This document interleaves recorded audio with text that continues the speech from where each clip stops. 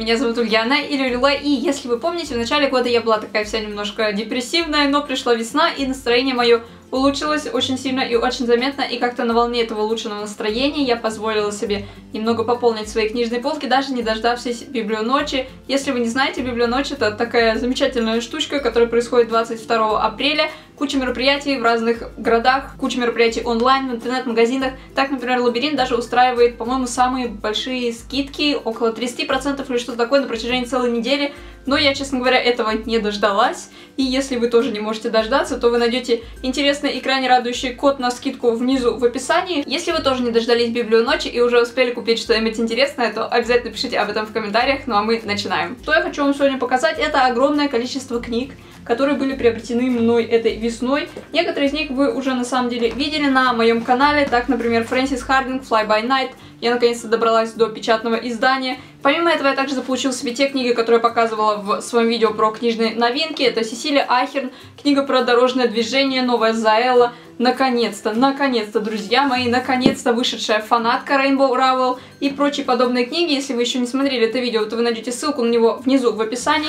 Куча всего интересного вышла этой весной, что меня не может не радовать и добавляет дополнительный заряд бодрости и вдохновения, скажем так. Но если продолжать тему того, чем я пополнила свои книжные полки этой весной, то тут стопочка тоже не меньше того, что я показывала вам раньше. Первое, что я хочу показать, это Эл Ригби. Завтра нас похоронят. Если вы помните, я уже показывала вам ранее «Крылья» из этой же серии онлайн-бестселлер. Мне очень нравится задумка этой серии, выбирать какие-то интересные произведения онлайн и издавать их. Помимо этого, также в январе этого года или в феврале я показывала вам другие книжные новинки, которые я ожидаю, и среди них была Ася Казанцева, которую я также наконец-то заполучила в печатном виде. В этой книге приведены какие-то научные исследования спорных вопросов, даже на обложке нарисованы всякие маленькие картиночки с надписями вроде «Надо есть натуральное», «Если Бога нет, то все позволено», «Пропаганда сделает вашего сына геем» и так далее прочие подобные штуки, например, даже про то, что мясо вредно для здоровья. Следующая книга, которую я купила, это Архан Памук и его имя мне Красный. Про эту книгу в первый раз я узнала из видео про книжные обложки и дизайн, которые я смотрела на TED Talks,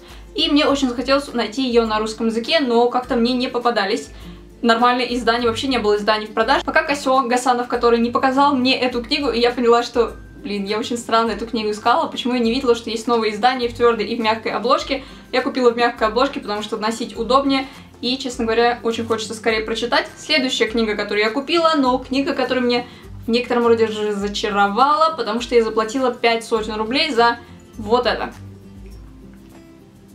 Я думала, что это нормальная большая книга, полный формат, но Манванов и Фербер своими потрясающими красочными фотографиями в Инстаграме решили надо мной подшутить. И Новый год прокрастинатора стал моим новогодним разочарованием, потому что, честно говоря, в книге очень мало текста, и платить столько же денег, сколько я бы заплатил за обычное издание, немножко печально. Немножко. Дальше у меня идет еще одна стопочка радующих меня вещей. Итак, что же у меня сейчас в руках? Когда здесь была Марни Джоан Робинсон, я очень сильно захотела эту книгу после того, как прочитала, что ее вроде как рекомендует Хаяо Миядзаки. И этого на самом деле хватило для того, чтобы мне захотелось эту книгу заполучить. Это подростковая книга, история о дружбе, история о взаимоотношениях людей. И тут даже на обороте написано, что эта книга заняла 18 место в списке из 50 детских книг, которые Хаяо Миядзаки рекомендовал к обязательному прочтению. Так что я, пожалуй, послушаю его рекомендацию и когда-нибудь до нее доберусь. Следующая книга, которую хочу вам показать, если вы знаете, я собираю в некотором роде виноватую серию, то есть это вот эти книжки вроде «Виновата ложь», «Виновата море» и прочие виноватые штуки, но недавно в виноватой серии вышла книга, которая называется «Виновата тайна», и что отличает эту книгу от всего остального, она написана русским автором и является книгой, которая попала в шорт-лист литературной премии «Рукопись года». Обычная девочка в обычном классе, как бы не так. Для выживания в новом классе требуется школьная форма советских времен одна штука, кнопочный мобильный телефон одна штука, сарказм в неограниченном количестве. После фразы про сарказм я сдалась и поняла, что надо ознакомиться потому что это что-то необычное. И, как вам известно, я к русской современной литературе начала относиться более-менее спокойно, поэтому, возможно, и в виноватой серии появится что-нибудь интересное от наших авторов. Следующая книга — это книга, которую вы уже видели, если вы очень давно смотрите Машу Новосад. По-моему, в одном из видео первого года Машиного существования на YouTube она показывала подарки Паше, если я не ошибаюсь. В общем, она показала там книгу Звездные войны по Шекспиру, и эти книги начали издавать на русском языке, что меня не может не радовать, потому что это, по-моему, очень крутая идея, такая для фанатов серии, и, в принципе, очень интересно, потрясающее оформление, очень красиво выглядит, такое прям-таки, как подарочное издание. И также еще три книги, которые меня тоже очень радуют. Я, по-моему, два года назад показывала вот эту книгу, только американское издание. И вот эти 12 историй о настоящей любви с авторством Гейл Форман, Дженни Хан, Холли Блэк и других наконец-то появились на русском языке. К сожалению, не перед Новым годом, а весной этого года, хотя перед Новым годом, мне кажется, это был вообще просто шикарный подарок.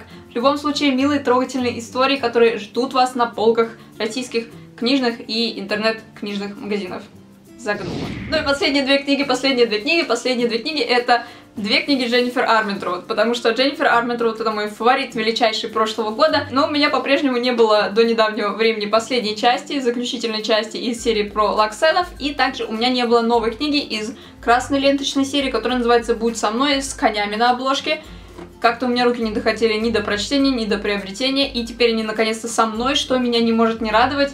Наконец-то я дочитаю серию про Лаксена, потому что сейчас ее читает моя сестра, и она находится просто в диком восторге. Вот такое у меня сегодня получилось видео. Не забывайте про Библию Ночь и про код со скидкой, который можете найти внизу в описании. Расскажите мне, что вы купили такого интересного, и покупаете ли вы в последнее время книги, радует ли это вас, что вас вообще сейчас радует этой весной. Куча полезных ссылок, все интересное вы найдете внизу в описании, но я с вами прощаюсь, до скорой встречи. Пока!